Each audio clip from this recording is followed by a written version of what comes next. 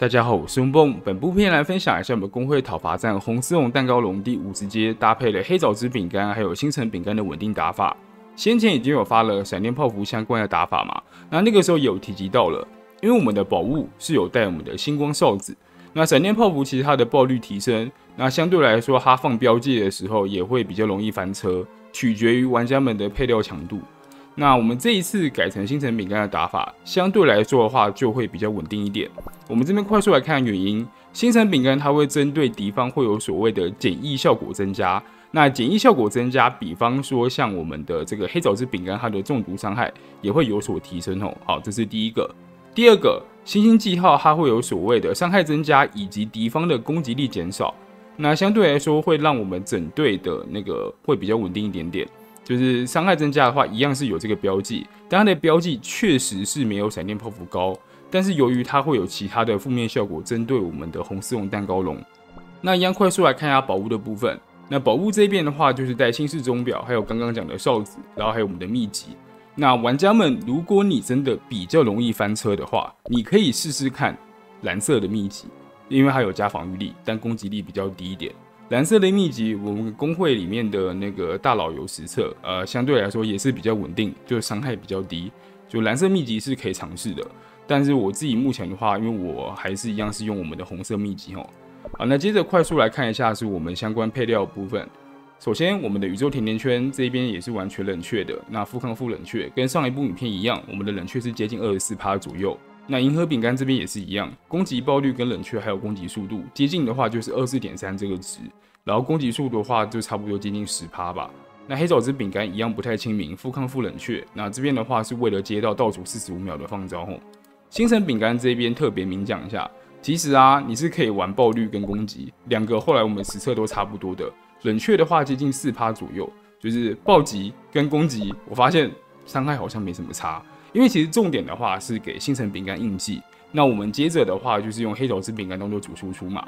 那本部影片的话，我们这边的话是会用攻击配料，多数玩家应该是攻击配料比较多啦，所以这边我们目前的话就是主推攻击配料。那暴击的话是技能的上限会比较高一点点，就特别说明。接着纯香草饼干跟上部影片一样，三攻二抗，那冷却的话接近八趴左右，重点的话就是撑高你的攻击跟伤抗。那接着的话就是用半自动的方式一路到底，相对来说会比较稳定一点。好，那接着就来看一下我们相关的实战影片吧。快扔！让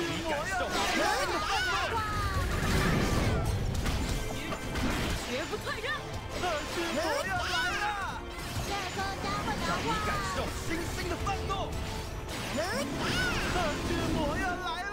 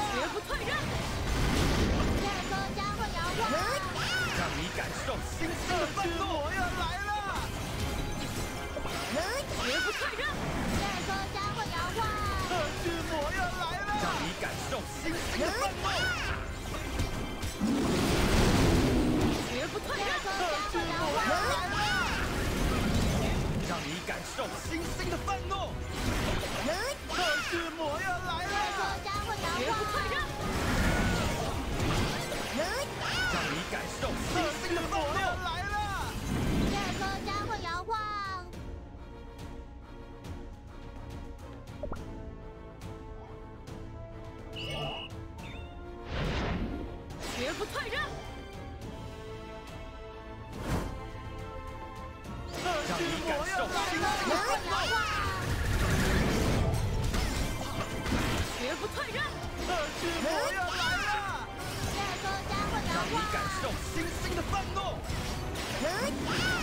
巨魔要来了！绝不退让！巨魔要来了！绝不退让！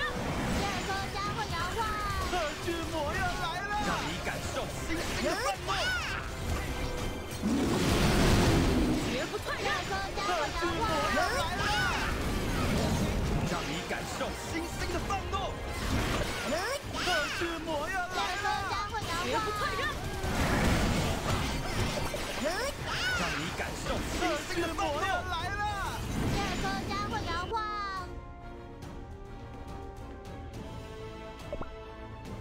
那么工位讨伐战红色用蛋糕龙黑枣汁饼干搭配了星辰的稳定打法影片就到这边感谢大家收看。有想要拼高伤害的玩家依然是可以试试看用闪电泡芙但相对来说比较稳定的打法的话是可以用星辰哦。啊那我是用 boom 下部影片见拜拜。